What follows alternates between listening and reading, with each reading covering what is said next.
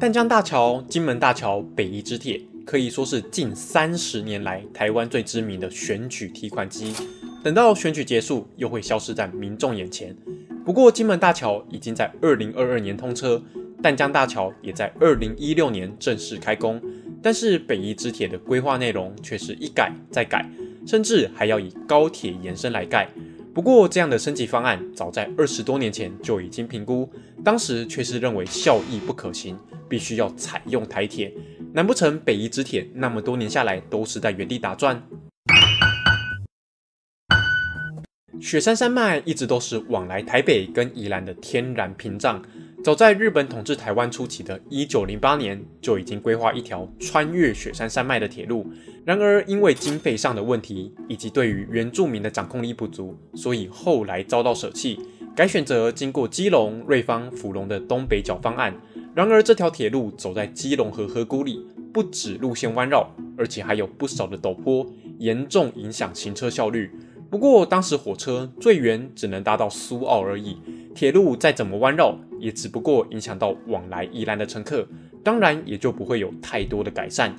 不过，到了一九八零年，连接宜兰跟花莲的北回线铁路通车，宜兰线铁路瞬间从支线跃升成东部干线的主线。沿线开始跟着进行一连串的品质提升，除了把部分弯道改善之外，当中最重要的是把单线铁路扩建成双线，才有办法让两个方向的火车同时行驶。这个工程同时废弃不少原本的单线隧道，像是现在改成自行车道的草岭隧道跟三雕岭隧道都是这样来的。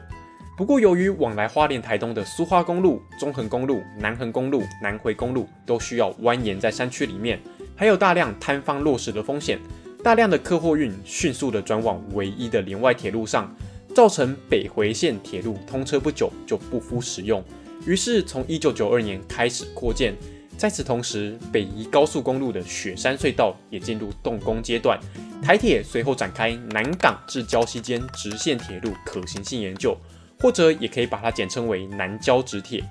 这条南礁直铁的路线大致跟北宜高平行。同样会经过平林，也因此研究报告在一九九四年一提出来，马上就遭到质疑，坡度对火车来说可能太陡。隔壁的北宜高最陡的坡度是千分之五十一，已经高于现在机场捷运的千分之四十九了。所以南郊直铁就像是泡沫一样，直接走下历史的舞台。等到一九九九年高铁正式开工，在明代的要求之下，交通部指示高铁局研究高铁延伸宜兰的可行性。当时评估的结果是造价需要五百三十二亿元，比几年前台铁的四百三十八亿元多出了两成。至于从台北到宜兰的行驶时间，台铁方案是三十九分钟，而高铁虽然只需要二十六分钟而已，但是当时比照西部高铁的模式规划，把车站设置在新开发的造镇里面，所以从计划站点的壮围新南到宜兰还需要加上十四分钟。而且没有延伸到花莲、台东的状况下，乘客也不太可能选择在宜兰转车。整体评估下来，效益反而没有台铁方案来得好，所以高铁延伸到宜兰的构想也就昙花一现的消失了。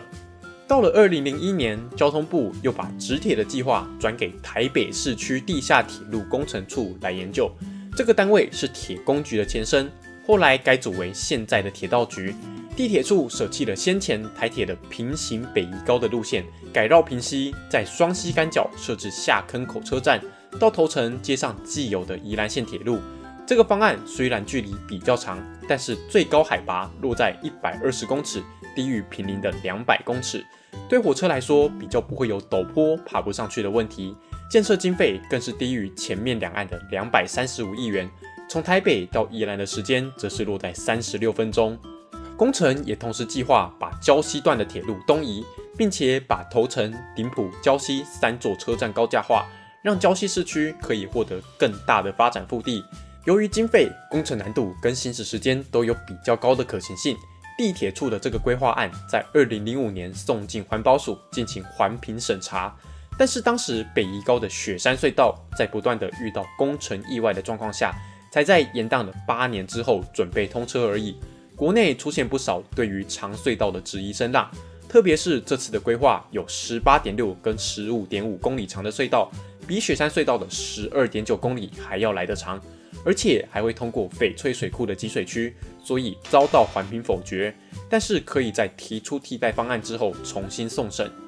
而在北宜之铁迟迟没有定案的同时，台铁决定引进倾斜式列车，利用列车本体在弯道处借由控制器加强向心力的方式，抵消惯性，获得更高的过弯速度，来解决宜兰线铁路东北角路段因为急弯过多导致行驶速度过慢的问题。这批列车在二零零七年以泰鲁格号的名称正式上线载客，使得台北往来宜兰的时间从八十三分钟缩短为七十一分钟。但是泰鲁格号以及后续引进的普悠玛号只有八节车厢，少于推拉式自强号的十二节车厢，再加上起初几年禁止站票搭乘，使得每班次减少三分之二的运量。倾斜式列车不止没办法改善东部干线的车票供不应求的状况，提升的速度也仍然有限。于是，在二零零九年，铁工局重新启动直铁的可行性研究，二零一二年取得预算进行综合规划。重新评估了五条路线方案，方案一大致上跟二零零一年地铁处的相同，方案一 A 跟一 B 都接近一九九四年南郊直铁的路线，不过宜兰端从礁溪改到了头城，会新建三座总长三十二点八公里的长隧道，沿途不会增设车站。方案二则是全新的路线，完全避开翡翠水库集水区，改绕到双溪之后，由大溪接上宜兰线铁路。并且在双溪站旁增设新双溪站，可以转乘旧线到东北角的车站。至于方案三更加保守，主要把猴童到双溪以及双溪到大溪两个路段以隧道截弯取直。最后在二零一四年，铁工局以避开翡翠水库集水区的方案二作为优选方案，准备提交到环保署进行环评审查。然而在同一年年底的县市长大选后，以往因为翡翠水库集水区问题，经常持反对立场的台北市政府，新上任的市长柯文哲却反而认为绕到双溪的方案二建设经费跟取直线的方案一 A 差不多，都落在五百亿上下。从台北到宜兰行驶时间却是从三十九分钟拉长成四十七分钟，所以应该在技术可行的状况下选择最短路线才对。北宜直线铁路哦，这个路线哦，我们双方都有共识。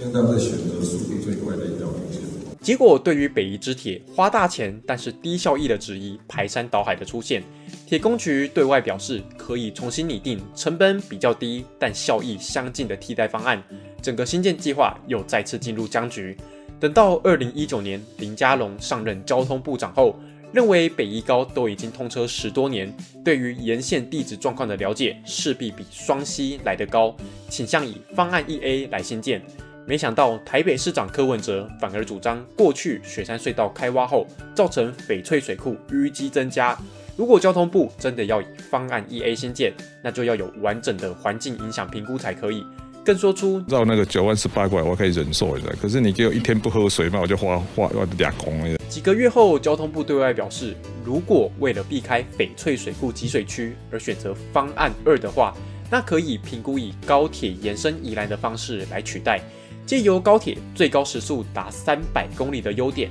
来弥补因为绕道双溪而造成的时间损失。二零二零年刚跨完年，交通部就正式对外宣布，确定以高铁延伸宜兰来取代过去的北宜支铁规划。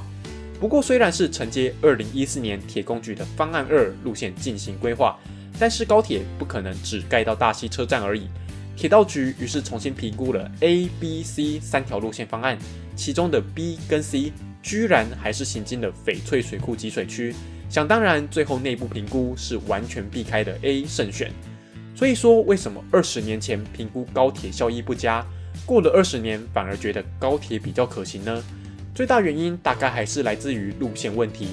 最开始评估高铁延伸宜兰时，台铁的版本还停留在一九九四年临近北宜高的南郊直铁。使得台铁跟高铁的行驶时间只差十三分钟，但是后来受到翡翠水库集水区的影响，不断的把北宜直铁的路线改成北宜湾铁，在里程增加的状况下，台铁跟高铁的行驶时间差异就逐渐拉大。二零一四年经过双溪的版本，四十七分钟已经是接近高铁二十七分钟的两倍了。跟行经目前宜兰县的倾斜式列车差异更只有二十分钟而已，造就了高铁死灰复燃的契机。而为了提升民众转乘的便利性，二十年后的高铁延伸宜兰也放弃在壮围新南设站的想法，改以设置在台铁沿线作为规划方向。这大概也是提升高铁效益的做法之一。不过铁道局一开始给出的答案却是跌破不少人眼镜的礁溪四城，也立刻引发排山倒海的抗议。连理论上应该秉持中立立场的立法院长都跳出来反对。所以车站设置在四城、宜兰县政中心或是罗东，对于高铁以及台铁，甚至是往来花莲、台东的民众有什么影响？由于篇幅比较长，让我们留到下次的影片。三十年下来，北宜之铁的方案不断的修改，如果再加上一九零八年日本人的规划，整体来说可是名副其实的百年建设。所以你觉得这次真的会顺利开工吗？还是又会半路杀出程咬金呢？欢迎分享在留言区，也别忘记按赞、订阅、开启小铃铛，并且把影片分享出去，让更多朋友知道北宜之铁居然有高达十种不同的路线规划，以及高铁是怎么败部复活的。那我们就下次见喽，拜拜。